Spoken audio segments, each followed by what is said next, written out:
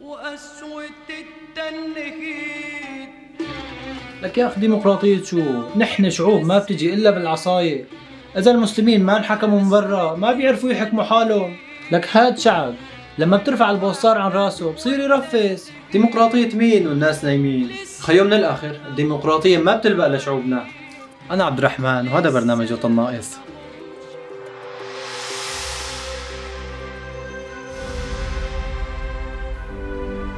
مع الأسف أنه الكلام السابق صدر عن كتير مثقفين من يلي عندهم هواية بجلد الذات وأنه نحن كشعوب عربية ومسلمة بدنا مراحل طويلة حتى نتنعم بالديمقراطية. للحظة جد بتنلخم وبتبلش تقتنع أنه الديمقراطية جسم غريب ممكن يسبب لك أزمة نفسية كعربي أو كمسلم. هذا ناهيك عن إبداعات شيوخ السلطان يلي في قطيع كامل بيصدقهم. للحد اللي لما تذكر في ديمقراطية في عالم بتروح بتتوضا الله وكيلكم. رح أصدمكم بهالمعلومة. ما في ولا دولة بالعالم شعوبها كان عندهم هيك ثقافة الديمقراطية منها لحالها. يعني القصة مو لأنه الشعوب الأوروبية ديمقراطيا أو منتصرة الديمقراطية عندهم. بل على العكس تماما. الديمقراطية نجحت بكثير من الدول بسبب همجية الناس ووحشيتها وإذا بدنا مبرر واحد بس للديمقراطية فهو كبت هي الوحشية والإيمان بأنه الإنسان كائن شرير. لأنه الديمقراطية هي الحل الوحيد يلي انحط مشان إنهاء الحروب يلي كانت تصير بين أولاد البلد الواحد. ومجرد ما تم تثبيت النظام الديمقراطي قدرت الدولة تنشر الثقافة الديمقراطية. ولا الناس عايشين على مبدأ هوبز فيلسوف الاستبداد. الإنسان شرير اتجاه أخيه الإنسان. وهذا ما له لا بشعوبهم ولا بشعوبنا.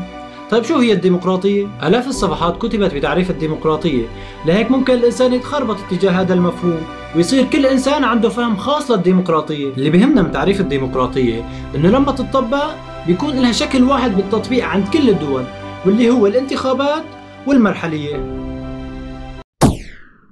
يعني الشعب مسؤول عن انتخاب التيار السياسي اللي بناسبه ولازم يكون مرحلي يعني كل أربع سنين لأنه التأبيد هو عكس الديمقراطية.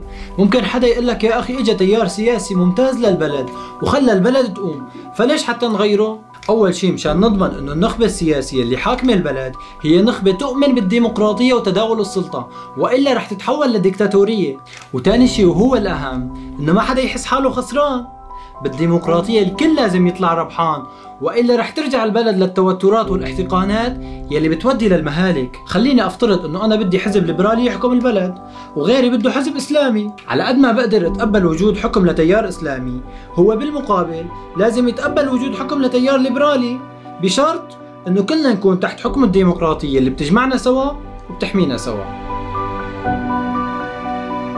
مع أنه الحديث عن الديمقراطية هو حديث قديم كتير والناس خلصت منه. إلا إنه ما رح نقدر نفهم معنى الأغلبية الديمقراطية.